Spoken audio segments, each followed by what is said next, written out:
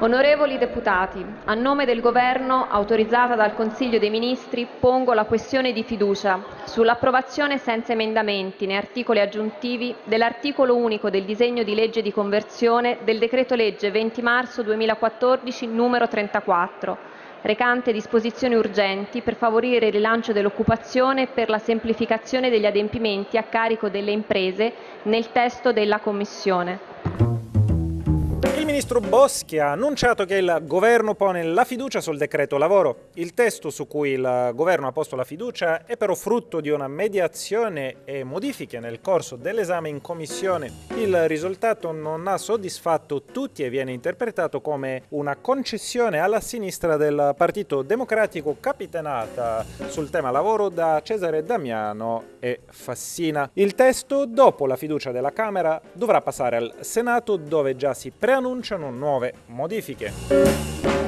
Ma io credo che i punti di discussione sono noti. L'NCD ha già dichiarato chiaramente quali sono le proprie posizioni, l'aveva fatto nei giorni passati.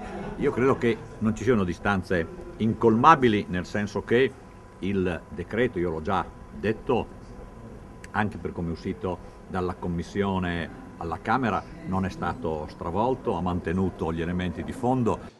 Aurelio Damiano, il eh, compromesso sul DL lavoro vi soddisfa e come commenta anche questa fiducia che è stata Renzi? Ma per quanto riguarda il testo uscito dalla Commissione, crediamo che sia un testo di grande equilibrio che dà alle imprese ulteriore buona flessibilità senza negare i diritti dei lavoratori. In particolare la parte relativa all'apprendistato corregge a nostro avviso un errore del governo perché non prevedere l'apprendistato con formazione vuol dire negare la natura stessa dell'apprendistato. Oreole Fassina, come vede il Jobs Act di Poletti e Renzi?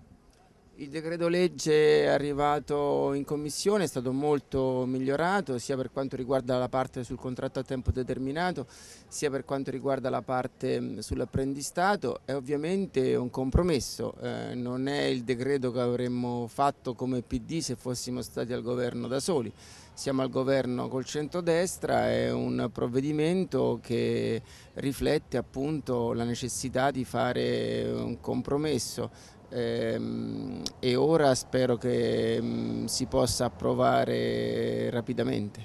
Noi difendiamo il testo Renzi, noi abbiamo sempre chiesto di ritornare al testo Renzi-Poletti.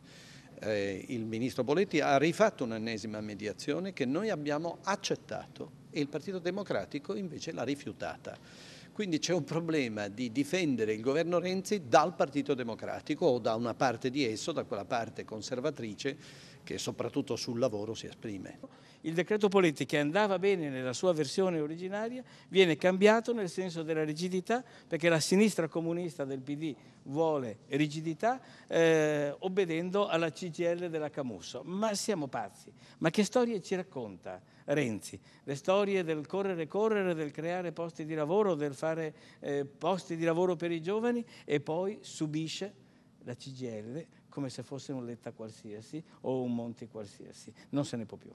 È successo che purtroppo NCD e la sinistra del PD si sono opposte un, al miglioramento necessario di un testo che è uscito male dalla Commissione. Purtroppo è stata un'opposizione di carattere ideologico. Eh, che, noi non abbiamo condiviso. Noi siamo a favore di provvedimenti che migliorino il mercato del lavoro italiano, Oggi eravamo vicini a una mediazione importante che purtroppo si è impantanata.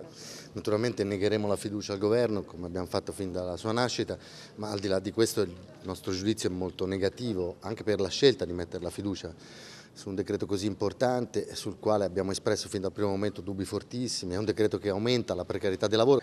E sul decreto lavoro il Poletti Renzi si ufficializza all'epoca degli schiavi moderni e questo non va, non va bene, è un, è un bacio di Giuda verso i lavoratori. Come annunciato il Presidente Renzi ha dato seguito alla deliberazione del Comitato Interministeriale per la Sicurezza della Repubblica che aveva deciso di declassificare gli atti su una serie di eventi che hanno caratterizzato la storia del nostro Paese che adesso se voi mi consentite vi cito senza ripetere a memoria. Piazza Fontana, Gioia Tauro nel 70, Peteano nel 72, Questura di Milano nel 73, Piazza della Loggia a Brescia nel 74, Italicus 74, Ustica 80, stazione di Bologna 80, rapido 904 del 1984.